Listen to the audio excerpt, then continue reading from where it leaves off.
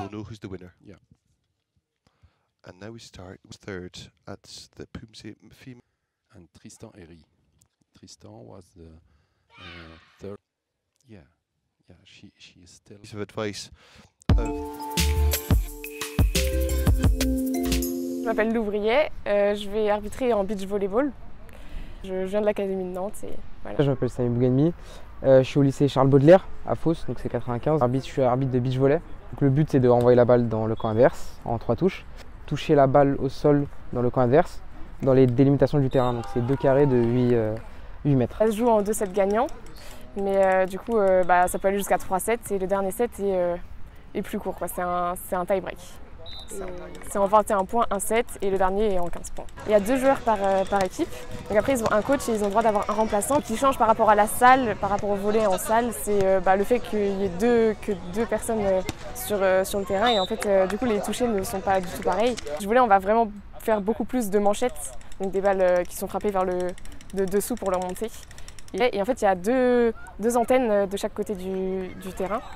Et la balle, il faut faire forcément qu'elle passe entre les deux antennes.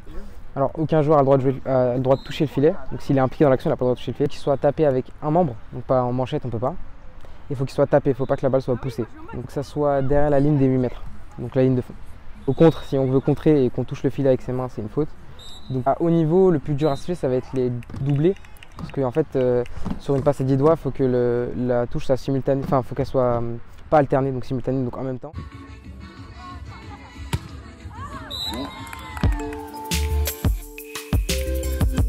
Je suis très fier de voir tous les gens euh, ensemble dans les différents pays. Et j'adore de voir qu'ils ont une compréhension que le sport, c'est quelque chose, pas juste un sport, mais aussi euh, c'est une vie en général. Je pense qu'avant tout, euh, quand on fait du sport, euh, ça reste euh, une passion. On ne fait pas ça pour euh, avoir de la fame, euh, de l'argent. euh, ça doit rester une passion, quelque chose qui nous fait vibrer euh, viscéralement. C'est un événement qui permet de rencontrer euh, d'autres euh, élèves, d'autres sportifs euh, des autres pays. Donc c'est important de penser à échanger et à apprendre les uns des autres.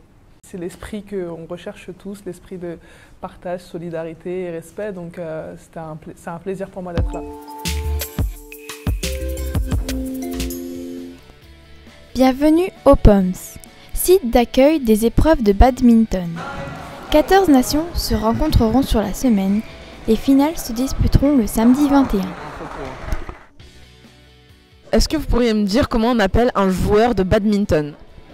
Euh, un joueur de badminton, euh, là, je passe. Parce que c'est pas un sport qu'on pratique vraiment en Haïti. Connaissez-vous la vitesse record du, euh, du volant? Je crois que ça va être 120 km/h. Ouais, un peu moins, je pense.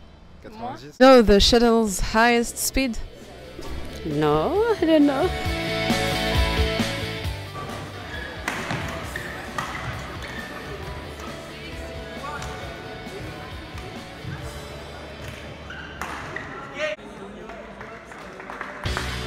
Les badistes, désireux de grimper sur la plus haute marche du podium, devront user d'une bonne maîtrise technique. Smash, amorti, slice, pour atteindre l'objectif suprême et garantir un spectacle de qualité aux nombreux spectateurs. Le tout dans le respect des valeurs de l'olympisme. On a entendu parler d'un programme sportif de la Maïf et euh, pour la planète. Et donc du coup, vous pouvez nous expliquer pourquoi il a été créé et en quoi il consiste? Alors oui, euh, il s'agit du programme Sport Planète que nous avons décidé de créer il y a maintenant deux ans à la Maïf. Nous animons un écosystème d'ambassadeurs sportifs et d'éco-aventuriers, euh, notamment qui sont présents sur les gymnasiades aujourd'hui et qui font un triathlon et qui vont en profiter pour faire de la sensibilisation auprès des jeunes et des participants donc, euh, à la question de l'éco-responsabilité dans, dans leurs activités sportives.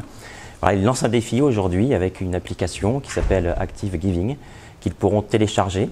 Et chaque euh, geste sportif, euh, chaque kilomètre parcouru, chaque calorie dépensée consommée aujourd'hui fera l'objet d'une replantation d'arbres. L'objectif étant sur les gymnasiades 2022 d'atteindre un objectif de 1000 arbres à replanter à la fin de la semaine. Donc j'invite tous les participants à la gymnasiade 2022 à télécharger l'application, à participer à ce fameux challenge interactif et participatif pour le bien de la planète et du bien commun. Alors Nicolas, t'en es où? On t'attend au Centre international de Deauville. On est à Deauville, on est sur la fin.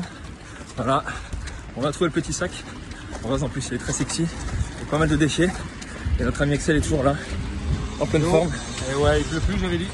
C'est ça. Ok, bah on t'attend à l'arrivée. À tout de suite.